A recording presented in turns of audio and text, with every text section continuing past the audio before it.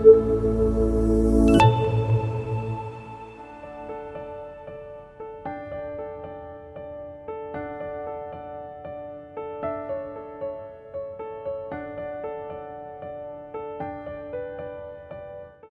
to Studi Live. In today's session on mechanical properties of fluids, we're going to talk about Pascal's law and its applications.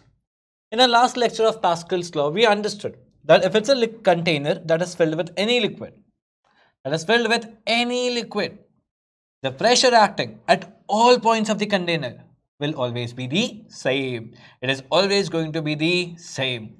So let's imagine and let's consider a very little, a very tiny pipe in here, I understand that the areas are not same. That the areas are not same. Like the area at this point A and the area at this point B is not same.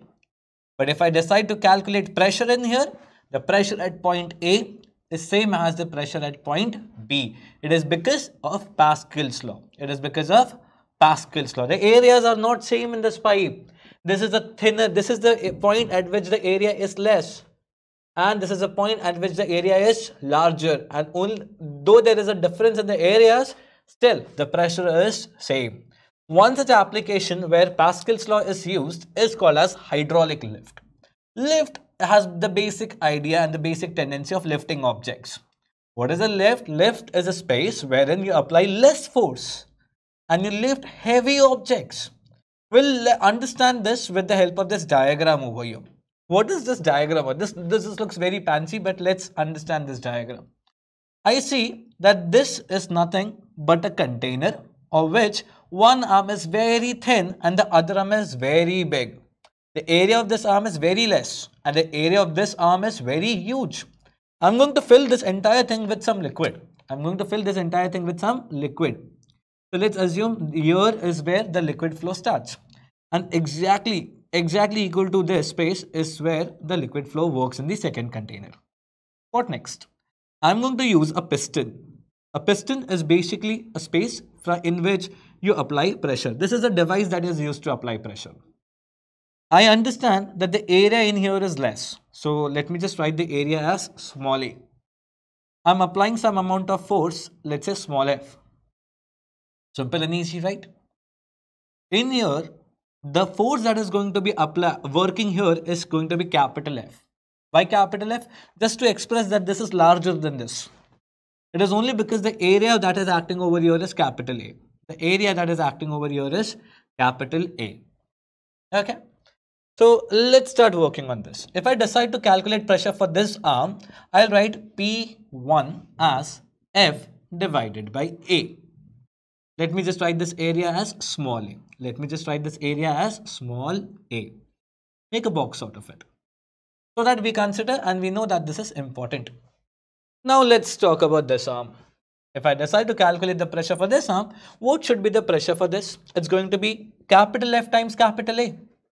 It is going to be capital F times capital A. So P2 is equal to F divided by A. Very simple and very easy. If I talk about Pascal's law, Pascal's law says that it is going to stay the same. That's P1 is going to be equal to P2. Okay, understood. Let's substitute the values and then let's play again.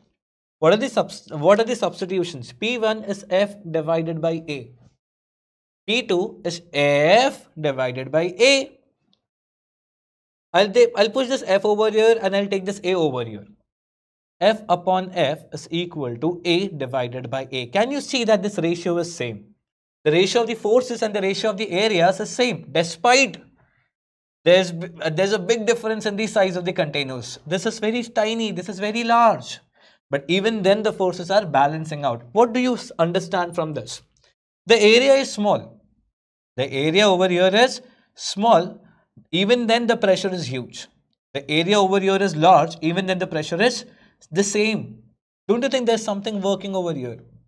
So the idea is even if you apply less force, in here there is always going to be a larger force. In here there is always going to be a larger force. So what happens is you apply a very tiny force over here and you can lift good load of cars and trucks from here. This is how hydraulic lift works. You apply very small amount of force. this very small amount of force results into a very large amount of force. How do you get this? Because the ratio over here is large. The ratio over here is large. You just have to apply a very small amount of force in order to lift a very big object. That is only possible because of hydraulic lifts. These hydraulic lifts are very much used in our everyday life. Not in your everyday life, but in a, when, when we talk about industries, the hydraulic lifts are of great operation. They help us lift huge loads and huge weights very often. So that was about hydraulic lift and the first application to Pascal's law. We're go still going to learn something more about Pascal's law, but for that we'll have to see in our future videos. Until then, stay tuned with Studi Live and keep learning with me. Thank you.